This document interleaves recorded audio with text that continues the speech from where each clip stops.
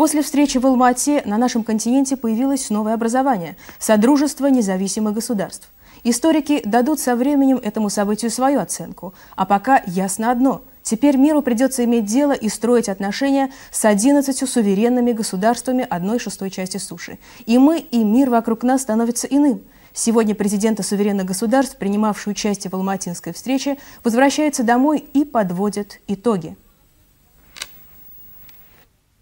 Первых интервью, которые дали президент Ельцин и сопровождающие его лица, возвратившись из Алматы в Москву, подчеркивалось кардинальное отличие новорожденного Содружества от бывшего Союза.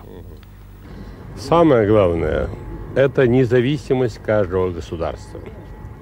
На этом основан весь принцип нашего соглашения.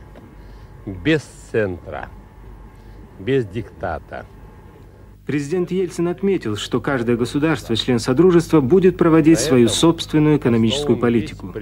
Мы будем согласовывать цены, э, этапы реформы, э, ее, этой реформы, э, вопросы согласования темпов, сроков и так далее.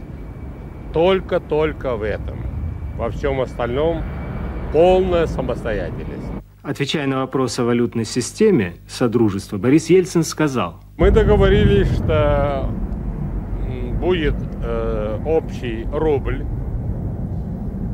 во всех странах Содружества, в 11 странах. В дальнейшем, если какая-то какая республика или государство Э, решит э, создать свою национальную валюту только по согласованию со всеми остальными. В этом очень важное принципиальное наше согласие. Я удовлетворен именно тем, что мы этот процесс предвидели давно. И, можно сказать, это была наша политическая платформа, которая сегодня воплотилась в жизнь. Предстоит трудная работа. Трудная в том смысле, что сейчас уже нет центра, не будет центра, на котором можно было свалить все наши проблемы, все наши трудности. Как будет проходить ратификация у нас в парламенте? Замечания могут быть по статусу автономии, потому что это тот вопрос, который нас волнует больше всего, имея в виду состояние в Карабахе.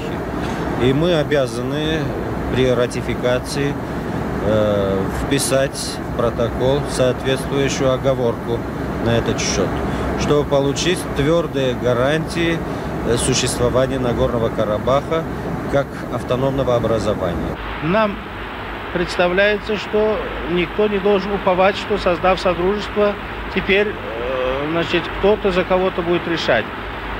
Факт произошедший, каждое государство суверенно, независимо, она должна решать свои политические, экономические, социальные, культурные вопросы, но в целях ускорения координируется и усилия в этом содружестве. Поэтому образование содружества надо рассматривать не как образование нового государства, а э, это содружество для координации, я еще раз хочу сказать, э, усилий для решения общих вопросов.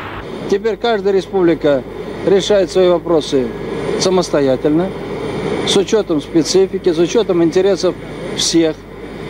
Я еще раз повторяю, всех, кто проживает на территории республики, независимо от национальности, независимо от веры, независимо от э, социального положения, каждая республика решает свой вопрос самостоятельно, вместе с тем, отдавая себе отчет о том, что есть тысячу проблем, которые надо решать вместе.